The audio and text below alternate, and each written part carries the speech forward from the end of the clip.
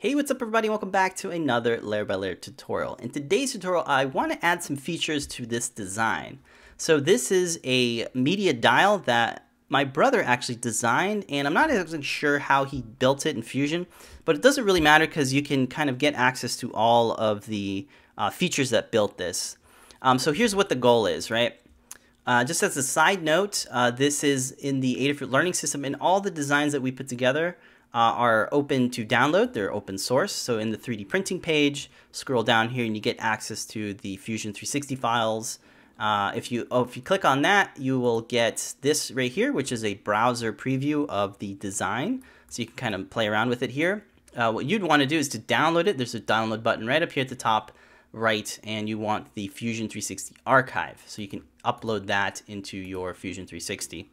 So with it, oh yeah, so what we want to do, what I want to do with it is I want to take this part here and add a little bit of features to it, make it a little bit more expanded out. Uh, so I kind of want it to look like this, uh, PowerMate USB by uh, Griffin.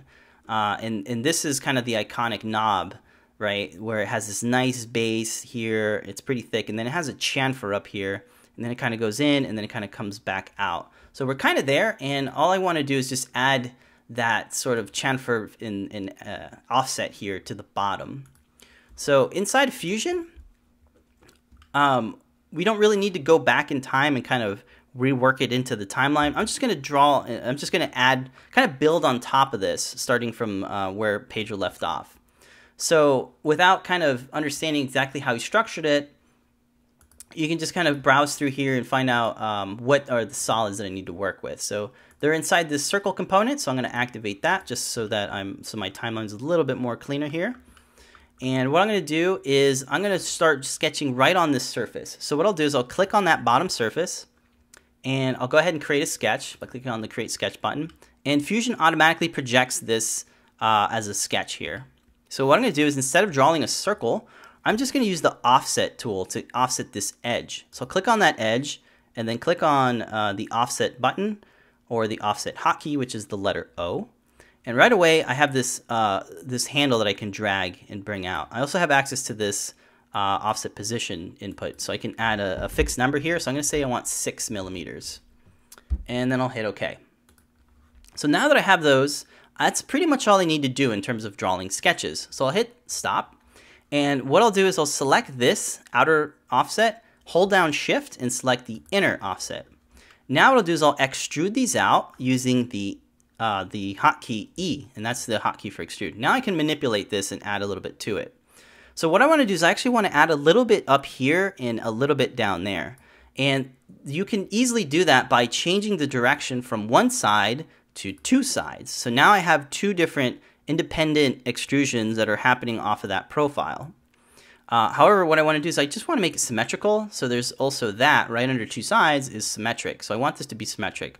So I want this to go down about four millimeters. And what I need to do is change the operation from cut to join. And that'll make sure that this extrusion will join to that bottom piece. So that's pretty much all I need to do. And I'll hit OK. Now that's not, I don't want to add a chamfer quite yet because I actually want this piece uh, to kind of come into that edge right there. One quick note is uh, I kind of want to hide these just so I can see, get a better look of this bottom piece. And what's kind of easy to do is you can select any face of a, of a body and hit the letter V on your keyboard. So if I hit the letter V, it'll actually hide it. I'll click away, click on this, and it, and it works with anything. It works with an edge or, or a surface. So I'm going to click just that one edge, and, and when I hit the letter V, it hides that whole body, which is pretty nice. Really quick way to kind of hide things. So remember, click, hit V, and it hides it, and then click away. So now I can get a better look at this guy, right? Next thing I want to do is I want to bring back that sketch. So it's under here, under sketches, under the circle component, and you'll just turn that on. So now what I want to do is I want to extrude that out here with the chamfer. So what I'll do is I'll hit the letter uh, E on my keyboard for extrusion, and I can't really get into that profile. So what I need to do is I need to click and hold, and then I get this kind of, I'm still, I'm still holding the, the mouse button. And what I need to do is I want to select this profile here. So I'll click on that. Now I'll hit, uh, I'll hold down shift and I need to select that inner, that inner profile circle. So I'll hold down shift and click and hold until the depth shows up. And then I can uh, hold down shift and then click on that profile. So now I have two of them. So sometimes you kind of need to do that uh, instead of just hiding uh, the body. So now what I want to do is I want to start this extrusion from an object, from a surface. And that's going to be from this surface here. The next thing I want to do is I want the extent, instead of adding a distance to it, I want it to be two objects. So I want it to go to somewhere. So I want to say, I want the extrusion to go to this top surface. And the next thing I need to do is update the chain faces. I need to change that to extend the faces, and Fusion will let me do that. Uh, the next thing I need to do is change the operation from cut to join, and that'll make sure that I join it. Now to add that chamfer is very, very easy. If you hit the tab key, you'll get this degree here, or it's actually over here too. It's called taper angle. So, and it's also uh, kind of hard to see, but it's right here. It's ghosted out. It's this little thing here. And that lets you add a uh, an angle to it. You can kind of flare it out or, or, or make it go inward, which is I want to do. And I want it to be negative 45 degree, uh, which gives me that nice, um, that nice chamfer. Make sure the operation is set to join, hit OK, and that's pretty much it. I can go ahead and hide that sketch now. And if I turn on all the bodies back, I can get a good look at how this looks as a whole. So I'll turn off all these layers, and that's looking really nice. I think for ergonomics, this will kind of feel better in your hands. You'll have a better base. Uh, there's if you make this completely solid uh, when you're 3D printing it, it'll have nice weight to it, so it'll kind of keep it on your desk.